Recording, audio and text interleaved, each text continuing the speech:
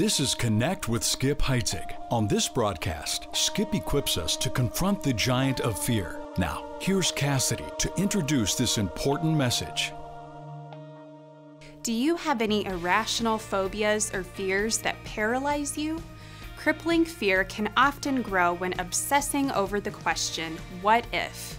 Skip will present a series of biblical truths that can replace what if with but God can. Now let's return to the 17th chapter of 1 Samuel and join Skip Heitzig as we face the giant of fear. Fear in the present is conquered by recalling victories in the past. Fear in the present is conquered by recalling victories in the past. If you have a good memory and a sound theology, you're ready to fight right now. If you have a good memory and a sound theology, you're ready to fight right now. Because the good memory will remind you of what God has already done in your life, and the sound theology will remind you that the battle belongs to God and what He's done in the past, He can do it again. So if you have a if you have those two things, you are ready to fight. If you can handle lions and bears, lesser trials, you're ready for Giants 101.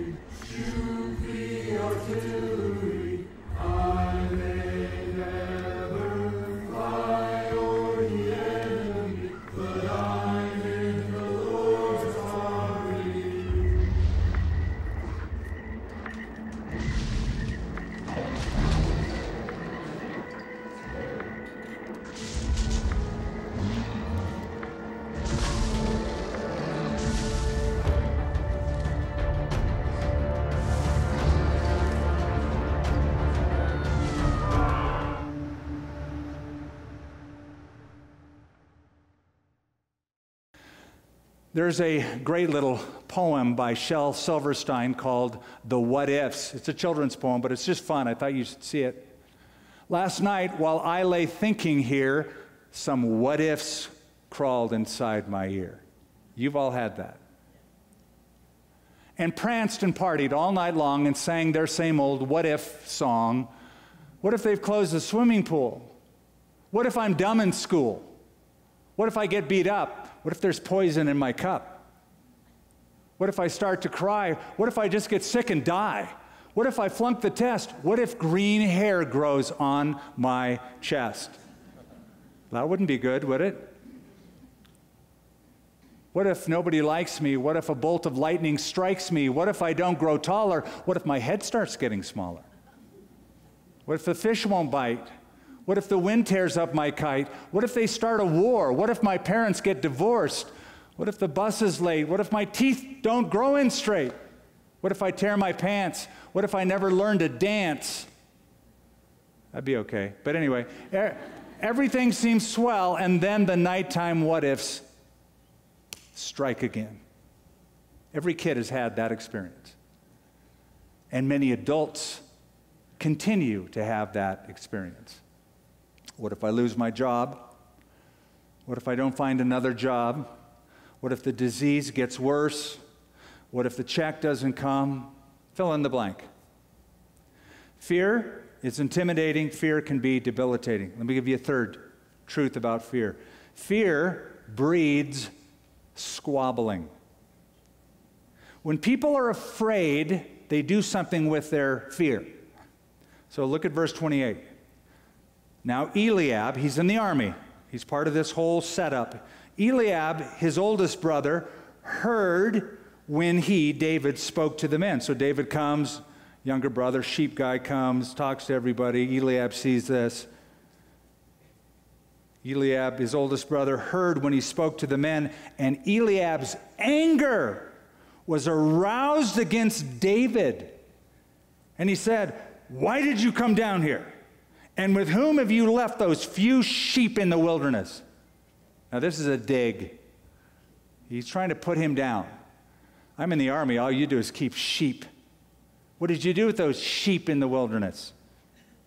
I know your pride and the insolence of your heart, for you have come down to see the battle.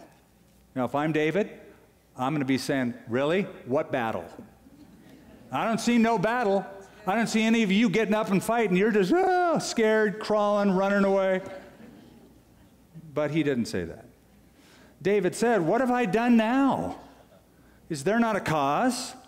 Then he turned from him toward another and said the same thing, and these people answered him as the first ones did. Now keep in mind who Eliab is. Eliab's the oldest brother. He was the guy who stood in line when Samuel came to pick the next king. And so that means Eliab was the first one in the family to be rejected as king. He never forgot that. And he never forgot when David came in from watching sheep and Samuel said, That's it. He's the kid. He's the king. He held it against him all that time. Now, in a moment of battle, now in a moment of fear, he lashes out. This is called infighting. He's fighting his brother. Why? Because he's afraid. Fear will do that. Mental health expert Kristen Fuller said that fear can turn to anger. She said, when you're in a stressful environment combined with a perceived threat, you experience frustration. In that condition, people often lash out at people around them. Keep that in mind. If people are unloading on you and getting angry at you, it could be that they're afraid. During this last year and a half, I have I've seen so many freaked out people, so afraid. And what they do, they get angry at you. How come you're not wearing the mask? Don't get too close to me. Okay, whoa. Uh, yeah. So, you know, you can get tempted to lash out back at them. I mean, I think David, uh, most brothers would have said, Really? You, you want some of this? I'll punch you in the nose, Eliab. But he doesn't do that. He recognizes this is coming from fear. Um, in fact, notice what he does. He says he turned from him. That's what he did. Just turn away, just walk away. Um, David wasn't there to fight his brother, David was there to fight a beast named Goliath. So he turned from him. He knew who to fight and who not to fight. Now, listen, if you don't watch it, you'll end up spending all your time fighting a Christian brother or sister. While the real enemy of our souls keeps coming up, coming up, coming up. And he wants you to not think of his coming up, he wants you to just have infighting with everybody else around you. Don't let it happen. Finally, I'm going to take you to a fourth. This is really the best part of the story. This is the crux of the story. Fear requires conquering. Fear requires conquering. So we go down to verse 45. David comes on the scene. He's there with a few rocks, five stones, and a sling. I mean, not even a slingshot. I hear people say, David, all he had was a slingshot. No, he did not. That was invented a long time after. He came with just a sling, a little leather strap that you go around your head or off to the side. He comes, and verse 45 David said to the Philistine, You come to me with a sword, with a spear, and with a javelin, but I come to you in the name of the Lord of hosts the God of the armies of Israel, whom you have defied. Wow. I mean, the best part of the story is a teenage kid talking smack back to this warrior. Why does he do that? And I, I don't know that he's, he's like, I don't think this is hubris or he's puffed up with pride. Somebody once said, courage is just fear that has said its prayers. So I think he probably went out there, mm, gulp, and, but he realized something. So it says, I come to you in the name of the Lord of hosts.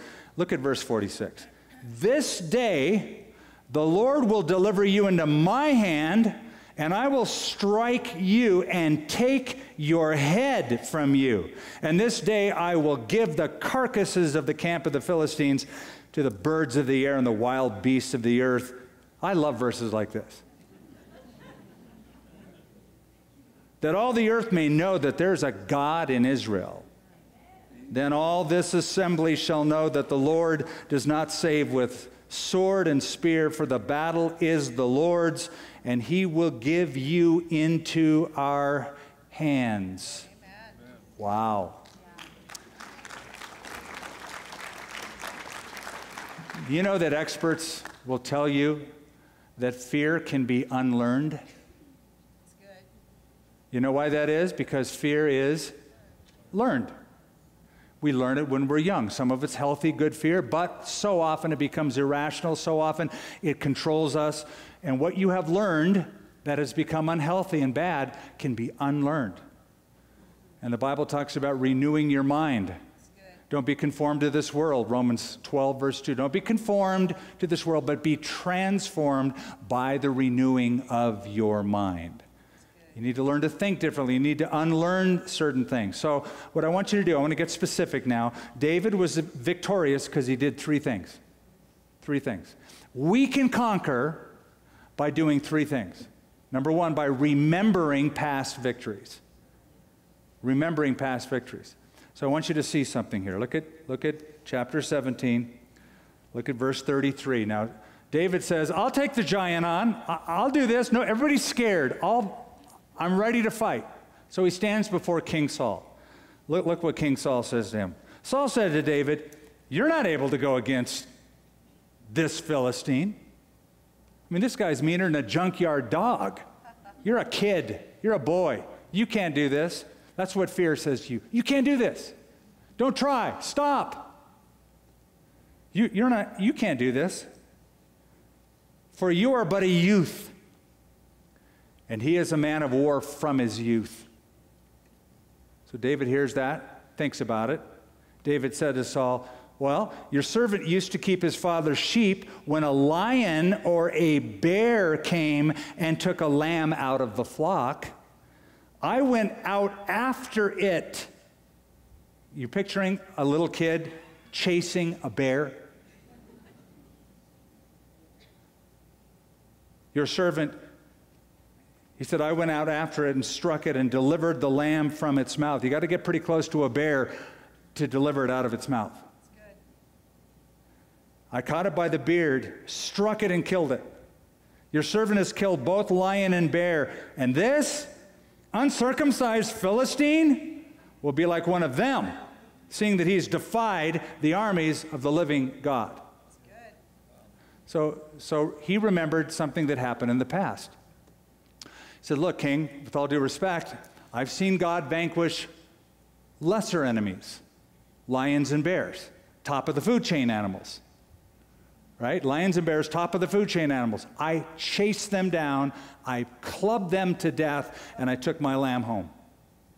So here's, here's the point fear in the present is conquered by recalling victories in the past. Fear in the present is conquered by recalling victories in the past. I want you to remember this. Look up here. I want you to remember this.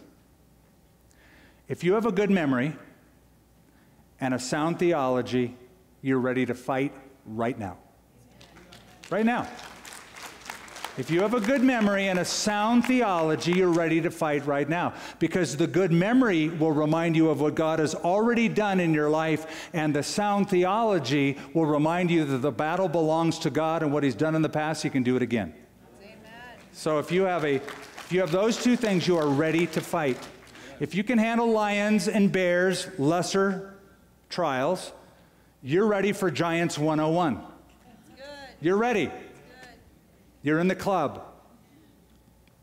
So, by remembering past victories, that's what that's number 1. Number 2, you conquer fear by realizing your personal assets. See, God made you different than He made me. He made us very unique, and you have a, a, a, certain makeup and certain advantages and certain gifts that enable you to do what nobody else can do. So it is with David. So, David Finally, Saul says, Okay, go ahead, God be with you, go to battle. But look at verse 38. Saul clothed David with his armor. He put on a bronze helmet on his head. He clothed him with a coat of mail. Now keep in mind, how tall is Saul? head and shoulders above everybody else. David's a little teenager. It's, it's like putting 52 long on 38 regular. You know, it's like a little 12 year old wearing his dad's suit. It's like, this really looks ridiculous. And it was. David fastened his sword to his armor and he tried to walk. Couldn't even walk, for he hadn't tested them.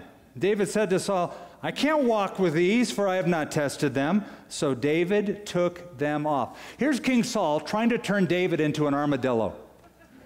It's like, man, you need protection. So he clothes him. David goes, I can't do this. I'm much better with a sling and these stones than with your sword and coat of mail. So the principle is this never do what God has not called you to do. Never try to be somebody else. Never fight like somebody else fights. Don't try to use a sword if you're better with a sling.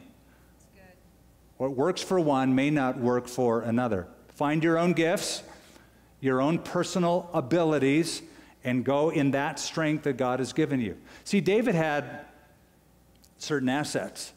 Yeah, he was unprotected, but he was fast.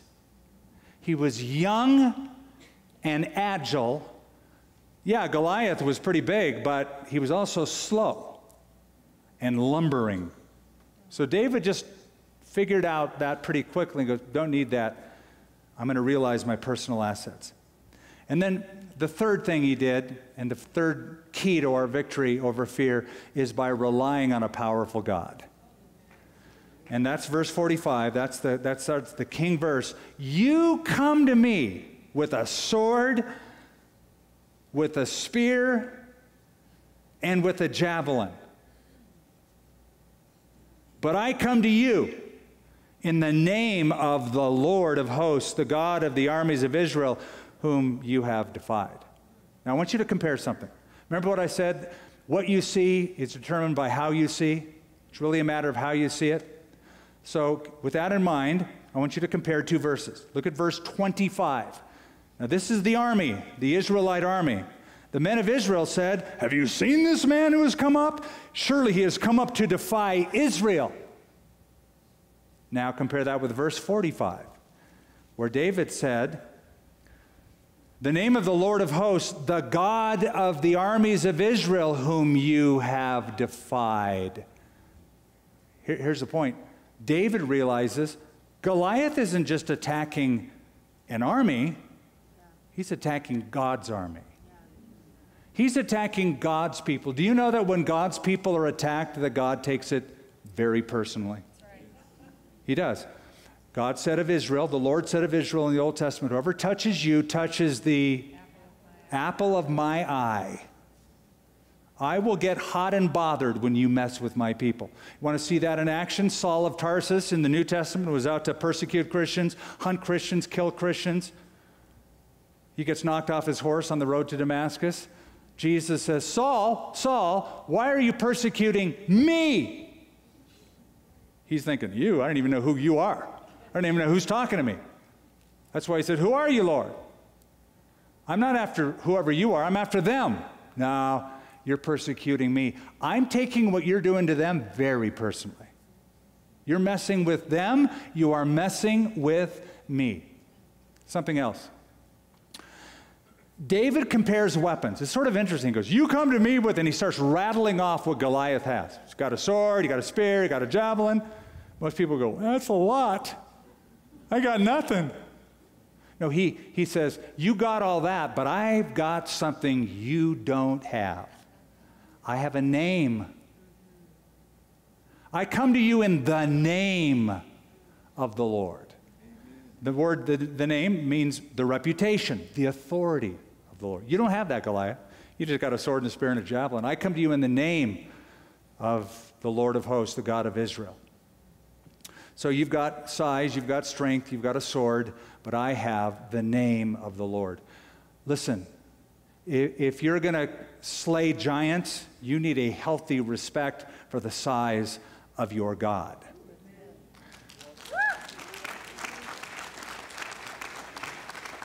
If you remember nothing but this from this sermon, I was going to say I'd be happy. I wouldn't be happy, but I'll settle for it.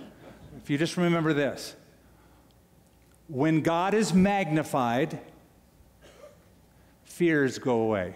Whenever God is magnified, fears go. You've heard that before. Let's magnify the Lord. Paul said, I magnify him in my body. What does it mean to magnify the Lord? You know what a magnifying glass does. Does a magnifying glass make anything bigger? No. It makes it appear bigger, makes it look bigger. When God is magnified, when you remind yourself whose side you're on and who God is, when God is magnified, fears can't live there. You can't live a fearful existence if you understand that. And that is why Israel was scared. Israel was scared when they saw Goliath because they compared Goliath's size to their size. LeBron James, Danny DeVito. LeBron James, Danny DeVito. Hey. Fear. If I'm Danny DeVito, I'm scared if that guy's my enemy. David comes on, he is unafraid because he compares Goliath's size, not to his size, but to God's size. So Israel's going, poor us. David's going, poor Goliath. He's been doing this 40 days. This is day 41. This is his last day to breathe on the planet. And he goes after him. Martin Luther said, with God, one is always a majority. Always a majority. I want to close with a fun little story, true story. This happened in a, in a philosophy class at USC, University of Southern California. Um, for 20 years, a professor of philosophy at USC, uh, a devoted atheist, used every opportunity to scorn the existence of God. All of his students, every year, for 20 years, they were always afraid of this guy. So every semester, on the last day of class, the professor would stand before like 300 students in the lecture hall. And he said, If anyone here still believes in God, stand up. In 20 years, nobody dared stand up. They were all afraid. And then he said, If you believe in God, you're a fool. If God did exist, he could keep this piece of chalk from hitting the floor and breaking in pieces, a very simple task for Almighty God. Yet he can't do it. The professor would then drop the chalk, it would hit the hard tile floor and smatter into pieces. Well, surely there were Christians over 20 years that were in that class, but none of them dared speak up or stand up because they were afraid. But one year, a freshman took the class. He had to take it to complete his major. He was a Christian student. And the professor stood up on the last day, said, Is there anybody here who believes in God? Stand up. So he stood up. Stood up, faced off the professor. The professor looked at that lone student and said, You are a fool. If God is real, then he could keep this piece of chalk from shattering when it hits the floor, but he can't. Just then, as he said those words, the chalk slipped out of his hand, hit his sleeve, bounced on his shoe, rolled onto the floor across the room unbroken. and, and all the students predictably snickered. It was just so funny. It was just perfect. Well, the professor got so red and angry, he just stomped out of the classroom. And when he did, that one student who stood up walked to the front of the room and began to share his testimony with 300 students that were now a captive audience.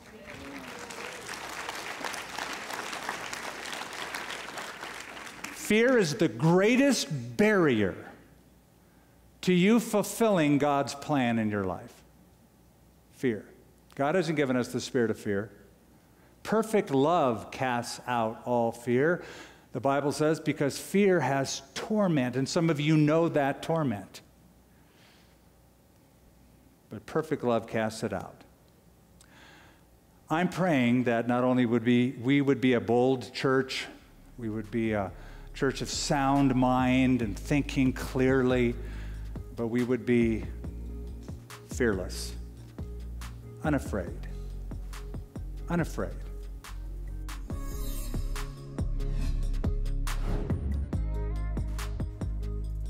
That's Skip Heitzig with the message, The Giant of Fear. Mental health expert Kristen Fuller noted that fear can often turn to anger. As Skip has said, fear is the greatest barrier to knowing God and fulfilling His purpose for your life. More next time in our Hunting Giant series on Connect with Skip Heitzig. Now, this about our current special resource offer.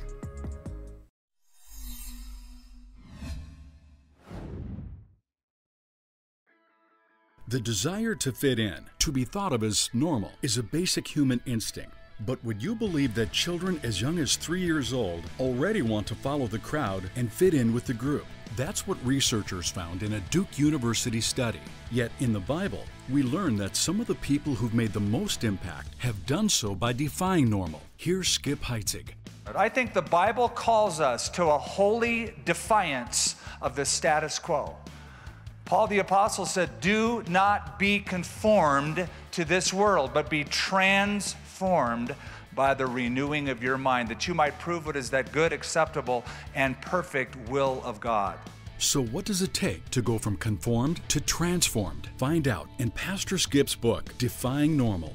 Our thanks when you give $35 or more to expand this Bible teaching ministry. And when you give today, we'll also include the booklet, What on Earth Am I Here For? by Rick Warren. Get your copies of these two bold resources when you call 800 922 1888 or give online securely at connectwithskip.com slash offer. Request your resource package by calling 1 800 922 1888. And if you want to review today's message, look for The Giant of Fear under teachings at connectwithskip.com. Join us next time on Connect with Skip Heitzig.